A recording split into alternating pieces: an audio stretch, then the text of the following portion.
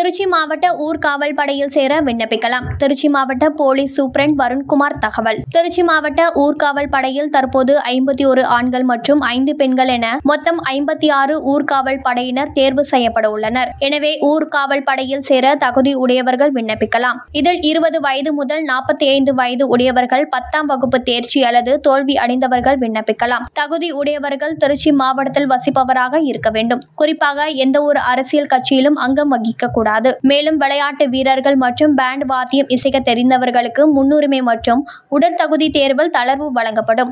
விருப்பம் உடையவர்கள் மாவட்ட ஊர்காவல் படை அலுவலகத்தில் விண்ணப்பங்களை பெற்றுக்கொண்டு உரிய சான்றிதழ்களுடன் நேரிலோ அல்லது ரூபாய் ஐந்து தபால் தலை ஒட்டிய சுய முகவரி எழுதப்பட்ட முறையுடன் காவல் சார்பு ஆய்வாளர் ஊர்காவல் படை அலுவலகம் சுப்பிரமணியபுரம் ஆயுதப்படை வளாகம் திருச்சி என்ற முகவரிக்கு வருகின்ற ஐந்தாம் தேதிக்குள் விண்ணப்பிக்க வேண்டும். உடற்தகுதி தேர்வு மற்றும் சான்றிதழ் சரிபார்ப்பு வருகின்ற எட்டாம் தேதி காலை ஏழு மணிக்கு திருச்சி சுப்பிரமணியபுரம் மாவட்ட ஆயுதப்படை மைதானத்தில் நடைபெறும். மேற்கண்ட தகவலை திருச்சி மாவட்ட போலீஸ் சூப்பரண்ட் வருண்குமார் தெரிவித்துள்ளார்.